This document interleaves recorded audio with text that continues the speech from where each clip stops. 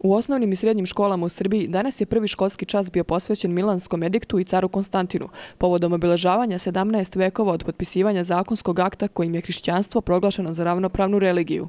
Ovaj zakonski akt doneli su carevi Konstantin Veliki i Licinije 313. godine i njime je proglašena verska ravnopravnost i tolerancija i prestanak progona hrišćana, odnosno data je sloboda da svaki pojedinac bira i spoveda veru po sobstvenoj želji.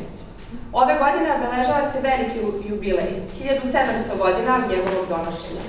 Za našu zemlju obeležavanje jubileja Milanskog edikta je još značajnije, jer je rimski car Konstantin I Veliki rođen u Nišu. Zato je Republici Srbiji 2013. godina u znaku jubileja Milanskog edikta i bit će obeležena raznovrsnim državnim programom. Učenicima je pročitan tekst o životu cara Konstantina, proglašenju Milanskog edikta kao i značaju koji je ovaj dokument imao na razvoj hrišćanstva i celokupan civilizacijski tok od četvrtog veka do danas. Za našu zemlju, zato što je rođen u Nišu, doneo je Milanski edikt kojim je zabranjen taj progon hrišćana. Bio je važan, bio je važan što se tiče hrišćanstva i ove godine obeležavamo to. Milanski edikt je donet 313. godine i samim donošenjem tog pakta omogućeno je da hrišćani budu slobodni.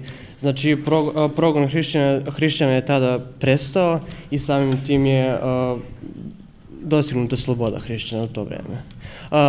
To otprilike traje 1700 godina, ta 1700 godina sloboda hrišćana Ministarstvo prosvete preporučilo je svim osnovnim i srednjim školama da u narednom periodu realizuju kvizove znanja, literalne i likovne konkurse na temu Milanskog edikta i da organizuju posete istorijskim spomenicima i arheološkim nalazištima iz rimskog perioda u našoj zemlji.